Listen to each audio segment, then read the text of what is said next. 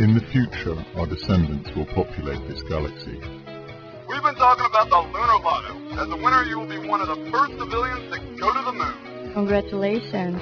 I'm your preliminary training guide. Sweet Jesus.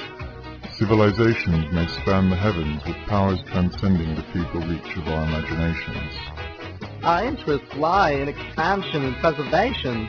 If our chief market supremacy is plastic, The moon is a long way away from here. Yes, where your legislative body doesn't apply. In their grandeur and their glory, these demigods of the future time will remember us and think of how it all began.